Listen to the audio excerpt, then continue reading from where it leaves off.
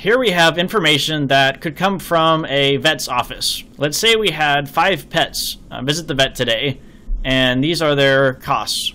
Now, let's say we want to figure out what the total cost per pet is. So we could use a sum function for this. So we can go down to total cost, type in equals sum, and we can select these four cells here. And then Sheets will ignore any x's or anything that is not a number. Close parentheses, hit enter, and there we go. And then you can drag this and see that it updates so that each cell now refers to the correct pet. And this is called relative reference because the total cost per pet is relative to which pet you're referring to. However, there are some costs over here, the flat fees, that are the same for every pet. So every pet gets a rabies vaccine that costs $30, and there's a standard exam fee of $15 for every pet. So let's say we want to add those standard fees to the total cost. So we'll add a category for flat fee, and then we can refer to these cells by typing in equals. You can select this, plus, and then select the rabies vaccine one. Hit enter, and we have our flat fee of $45 here. Now if we try and drag this over, we notice that it doesn't update, and that's because we're using relative reference. So if we look, this is now referring to these two cells here instead of referring to the flat fees here. So if we go back here and add a dollar sign in front of the I, you'll notice that when we drag it, suddenly one of the cells here is correct. And that's because a dollar sign means that we're using absolute reference. So if we drag this, it still refers to the same cell. Whereas this one, which is a relative reference, is going to change and move the cell it refers to. So let's go back and add a dollar sign in front of this I3. Hit enter.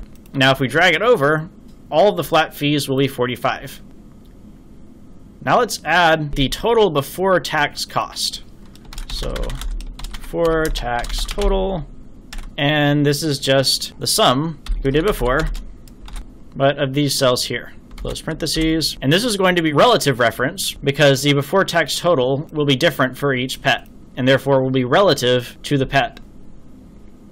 Now, say we want to add taxes to it, one thing we could do is type in equals 0.1 for 10%, multiply that by the before tax total, and here we have the tax for Fluffy, uh, we can drag that over and we can get the taxes for each pet.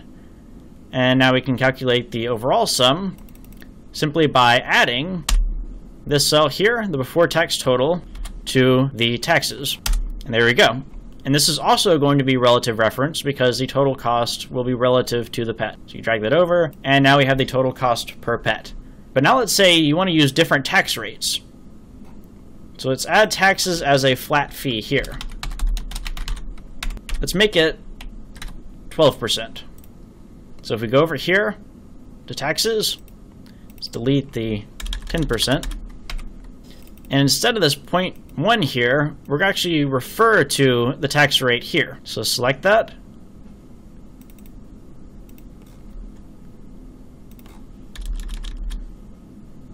Sheets makes you delete it first. And select this. And then multiply it by before tax total, hit enter. Now, if you move it over, taxes are going to become zero because, again, we're using relative reference, which means this now refers to the cell here. So we need to go back and remember to use absolute reference this time. So it's referring to the same cell even when you drag it. And there you go. And notice that the total cost automatically updates. So if you want to change the tax rate to, say, 11%, the total updates again.